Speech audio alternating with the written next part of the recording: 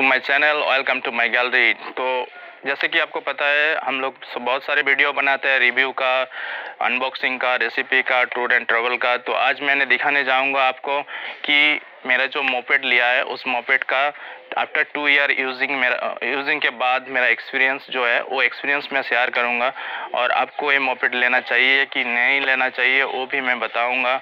और सारे दिक्कतें और सारे सॉल्यूस सारे जो फैसिलिटीज़ है, वो मैं एक one by one step by step मैं आपको शेयर करूँगा। तो मेरा वीडियो को देखते रहिए, बिना स्किप करके। और आपको एक्सपीरियंस मिल जाएगा मेरा मोपेट का। बहुत सारे लोग होता है कि मेरा मोपेट को देखने के बाद रास्ते में और बहुत सारी जगह में क्वेश्चन करते रहते हैं कि कहाँ से मिला, कैसे मिला, कितना प्राइजेस है, कितना बैटरी चार्जिंग टाइम है, कितना प्राइजेस है, कहाँ से लिया, कैसे आया, ये सारी चीज़ें क्यों और क्या क्या फैसिलिटी है, वो सारे चीज़ें जानना चाहते हैं। तो मैं सोचा कि एक वीडियो ना बना दूँ कि ये सब चीज़ें क्यों और भी लोग जाने और भी लोगों को पता चले कि इस चीज़, इस मोपेड में है क्या।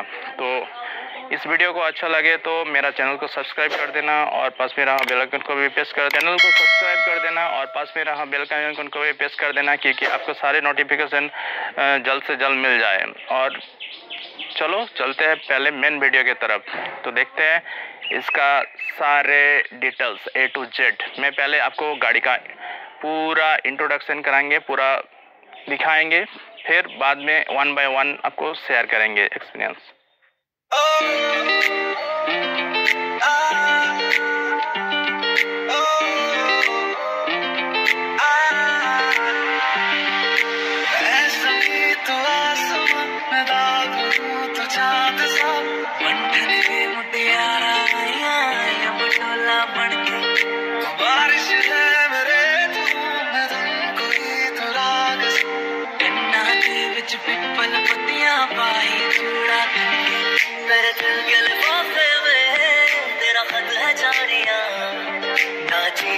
कैसे पाली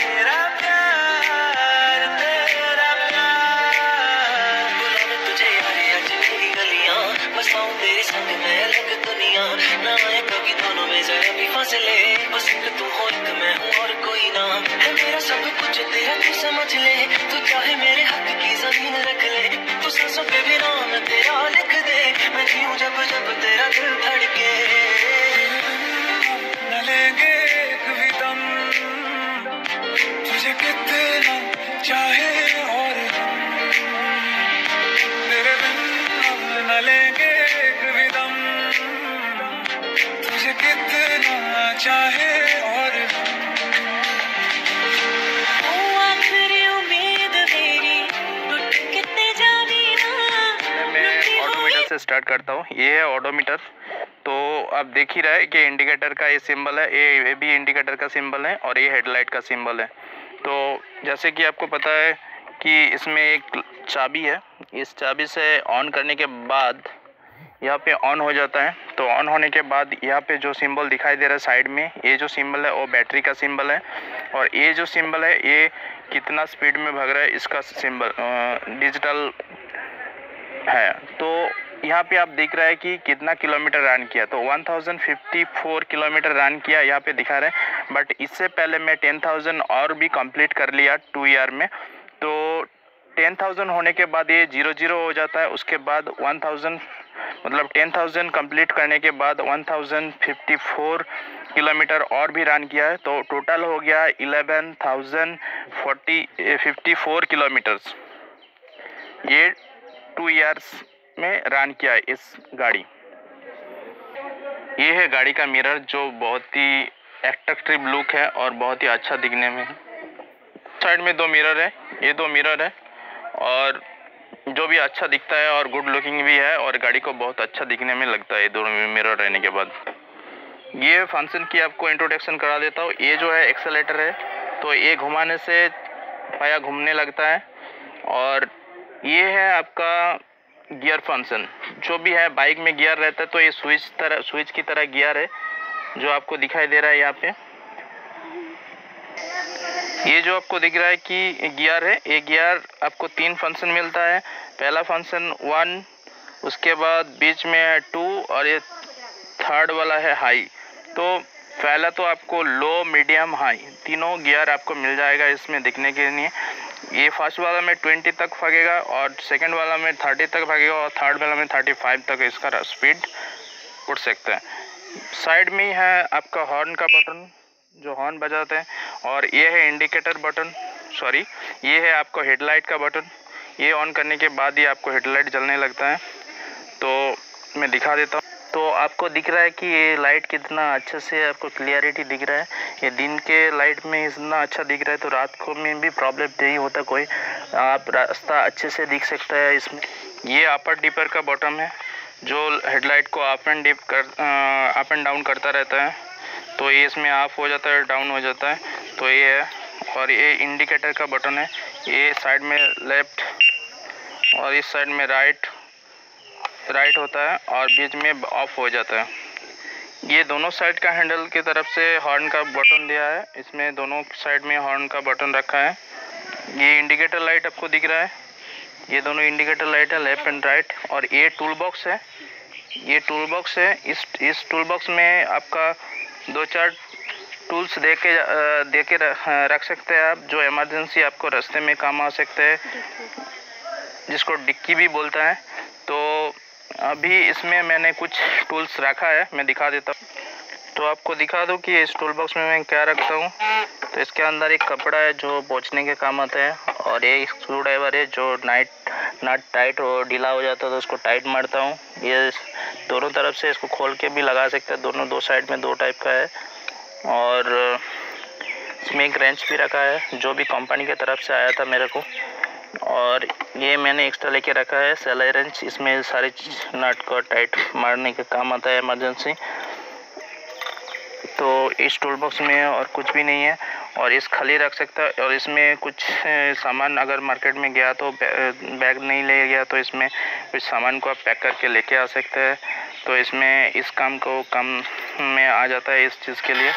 तो मैं अभी आपको दिखा देता हूँ कि इसका जो मेन पॉइंट है, जो मोटर कहता है, इस मोटर चक्का में मोटर लगा रहता है। ये एक बी एल मोटर है, जो ब्रशलेस मोटर है। इस चीज़ से ही पूरा गाड़ी चलता है। इसमें कोई इंजन वगैरह है नहीं। ये जो चक्का दिख रहा है आपको, इस चक्का के साथ ही ये मोटर को लगा के रखा है। और ये मोटर घूमता रहता है तो गाड़ी आगे बढ़ता है। तो इस मोटर बहुत ही अच्छा है और स्पीड भी बहुत ही अच्छा है। अभी टू साल यूज़ टू ईयर में यूज़ करने के बाद मेरे को पता चला कि जो भी अभी जिस हर से पेट्रोल का रेट है ज़्यादा है तो उसी हर से अगर देखा जाएगा तो टू ईयर में जो एक्सपेंस आता है पेट्रोल का वो गाड़ी का फुल अमाउंट आ जाता है। इसमें कोई प्रॉब्लम नहीं है, इसमें कोई कंफ्यूज नहीं है। तो आप अगर सस्ता और अच्छा वाला एक लोकलिटी में घूमने के लिए बाइक और स्कूटर देख रहे तो इलेक्ट्रिक ये जो स्कूटर है, वो सबसे अच्छा और बेहतर है। ये एक स्टैंड है, ये साइड स्टैंड है जिसमें एक सेंसर लगा हुआ है। इस सेंसर से क्या होता है कि सेंसर अगर स्टैंड लगा हुआ रहता तो गाड़ी आगे नहीं बढ़ता है। और एक डबल स्टैंड भी रखा है कि आप कहीं पे भी और अच्छा बुरा जगह में रख सकते है ऊँचा नीचे जगह में और ज़्यादा सेफ्टी के लिए डबल स्टैंड भी यूज़ कर सकते हैं। ये आपको पेडल दिख रहा है। ये पेडल में क्या होता है कि साइकिल की तरह इसको भी यूज़ कर सकते हैं। अगर इमरजेंसी कहीं पे गया और चार्ज ख़त्म हो गया तो आप पैडल करके भी दो चार किलोमीटर आसानी से आ सकता है।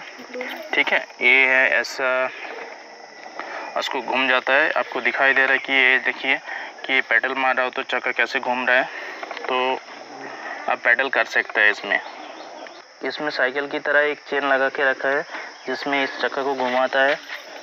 और इस तरह एक दो चेन और रखा है, जिसमें से एक चक्का को यहाँ से घुमाता है और दूसरा चक्का पेटल के साथ लिंक रहता है। इसमें दोनों साथ घुमाता है, ऐसा, ऐसे करके घूमता रहता है। अभी यहाँ पे दो चार्जिंग का पॉइंट देके रखा है। एक तो आपको इस जगह में एक चार्जिंग का पॉइंट मिल जाएगा, इस तरह जो बॉडी से यहाँ से चार्ज होता है। और और रिमूव करके भी बैटरी इसमें चार्ज कर सकते मैं आपको अभी सीट के नीचे जो डिक्की है वो दिखा देता हूँ। तो ये डिक्की को खोलने के लिए पीछे से इस की को अंदर डालना पड़ेगा। सेम की में काम होता है एक ही की में तो इसको ऐसे घुमाना है तो ये अनलॉक हो जाता है और इसको ऐसे खोलना है। तो खोलने के बाद आपको दिख रहा है कि एक एम सी बी यहाँ पर लगा हुआ रहता है। ये जो है एम सी बी ये एम सी बी ही कंट्रोल करता है। ज़्यादा अगर चार्जिंग चला गया तो ये ऑटोमेटिकली ही ऑफ़ हो जाता है, जो सेफ्टी रखता है इस बैटरी का और गाड़ी का दोनों का। तो ये है आपका जो दिखा रहा हो, ये बैटरी लिथियम बैटरी है। ये 48 वोल्ट का बैटरी है। इसमें पावर जनरेट करता है सारी चीज़ें और ये बैटरी फुल चार्ज करने के लिए ज़्यादा टाइम नहीं लेता। है ये three and half an hours में ये फुल चार्ज हो जाता है और ये फुल चार्ज होने के बाद आपको सिक्सटी सिक्सटी फाइव इतना ही देता है एक फुल चार्ज होने के बाद। जब नया नया लेंगे, इतना ही माइलेज मिलेगा। अभी मैं टू ईयर यूज़ कर रहा हूँ, उसके, अभी टू ईयर यूज़ करने के बाद अभी भी मेरे को 50 किलोमीटर का माइलेज ये दे रहे हैं। और और एक प्रॉब्लम हुआ था कि एन थोड़ा ख़राब हो गया था जो कंपनी वाला एन था वो ख़राब हो गया था तो मैं इलेक्ट्रिक शॉप से एक एम लगा के मैं घर में खुद ही लगा लिया क्योंकि यहाँ पे ये बहुत बड़ा काम नहीं है। इसको खोल के दोनों तार जोड़ने से क्या होता है कि इसमें चेंज करना है और कुछ भी नहीं है। तो मैंने आ, मैं खुद ही घर में इसको चेंज कर लिया। तो अभी भी इसका कोई नेगेटिव पॉइंट नहीं है। ये अभी भी अच्छा काम कर रहा है। और ये जो दिख रहा है आपको बैटरी का, ये जो बैटरी होता है तो एमसीबी ऑफ़ करने के बाद, इसको ऑफ़ करने के बाद आप इसको ऐसा जाता है। तो आसानी से निकालने के बाद इसको ऐसे करके निकाल सकते हैं। तो ये है मेरा फुल बैटरी आप देख ही सकते हैं।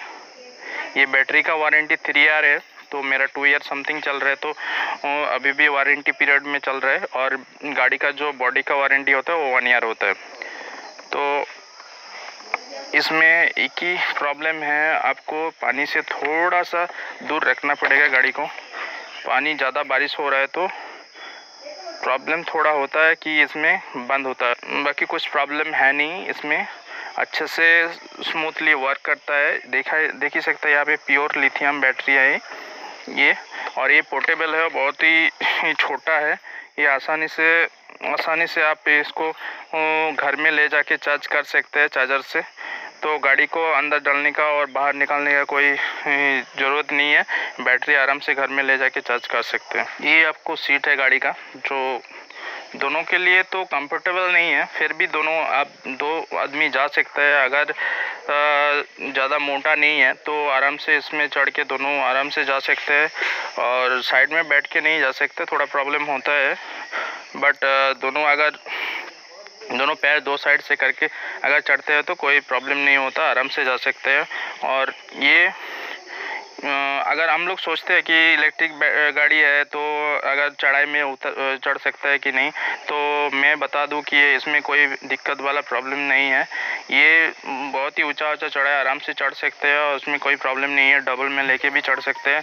और बहुत ज़्यादा चढ़ाई होता है तो थोड़ा सा इसका स्पीड कम हो जाता है तो अगर आप पैडल मारेंगे तो आराम से इसमें स्मूथली चढ़ जाता है तो ऐसा वाला कोई प्रॉब्लम है नहीं।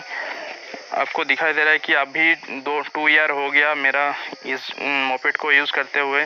फिर भी अभी भी बहुत ही अच्छा दिख रहा है आपको। तो एक ही प्रॉब्लम हुआ था कि मैं बहुत हैवी हैवी जो बैग्स होता है दोनों दोनों साइड से पीछे जो आपको डंडा दिख रहा है, इसके, रॉड दिख रहा है, इसके साथ में एक बड़ा सा, लंबा सा डंड लकड़ी बाँध देता हूँ और इसके साइड में, दोनों साइड में दो बड़ा बड़ा बैग रख देता हूँ। तो इसमें क्या होता है कि इसका जो मडगढ़ होता है, जो गार्ड होता है, वो आपका टूट गया तो उसको मैं खोल के रख दिया क्योंकि वो बहुत ही आवाज़ देता है तो इसलिए मैं इसको खोल दिया। मैं उस टुकड़ा जो मरगड़ था, वो मैं दिखा देता हूँ आपको। तो ये मरगड़ आपको मैं दिखा देता हूँ कि इस जगह में जो बैग्स था, वो साइड में बहुत ही ज़ोर से मारने के वजह से ये हल्का सा टूट गया था। तो ये टूटने के बाद मैं इसको खोल के रख दिया और लगाया ही नहीं इस जगह में। तो ये आप ले भी सकते हैं, कंपनी की तरफ़ से आपको पार्सल करा, करवा दिया जाएगा। अगर आपको लगाना है टूटने के बाद तो ये आपको मिल जाएगा। दो चार दिन टाइम लगेगा मिल जाएगा। कोई प्रॉब्लम नहीं है तो मेरे को कभी ज़रूरत नहीं है। इसलिए मैं लगाया नहीं, क्योंकि मैं हमेशा ही दोनों बैग दो साइड में और एक साल सामने में, इस जगह में एक बैग को ले लेता हूँ। और एक पीठ में भी बैग रहता है तो बहुत ज़्यादा लोड लेके मैं इसको घूमता हूँ। तो इसलिए मैंने इसको लगाया नहीं कि अभी फिर लगाएँगे, फिर टूट जाएगा, इसलिए मैं इसको खोला ही छोड़ दिया। थोड़ा सा प्रॉब्लम होता है अभी बारिश के टाइम में, थोड़ा कीचड़ इस चक्कर से ऊपर चढ़ जाता है बट अगर धीरे चलाएँगे तो कोई प्रॉब्लम नहीं होगा। बारिश के टाइम में थोड़ा प्रॉब्लम होता है। तो आपको अभी मैं बता दूँ कि इस मोपेटी बहुत ही अच्छा है और कंफर्टेबल है बट ये हैवी रेन में अगर चलाएँगे तो प्रॉब्लम हो सकता है क्योंकि मैंने भी एक बार हैवी रेन में चलाया था और ये बंद हो गया था। क्योंकि ये जो सेंसर होता है इलेक्ट्रिक का तो अभी भी इतना हाँ, इतना क्वालिटी इम्प्रूव नहीं कर पाया इन्होंने कि ज़्यादा बारिश हो जाए और थोड़ा बारिश अंदर चला जाए तो ये काम करें। तो थोड़ा बारिश होने से, ज़्यादा बारिश होने से इसका अंदर में जो सेंसर रहता है, जो कंट्रोलर रहता है, इसमें बारिश थोड़ा सा अंदर चले जाता है तो तो कम, ज़्यादा बारिश अगर नहीं होगा तो कोई प्रॉब्लम नहीं है बट बहुत ज़्यादा हैवी बारिश हो रहा है तो इसमें क्या होता है, पानी घुस जाने से ऑटोमेटिकली बंद हो जाता है, काम करना बंद कर देता है।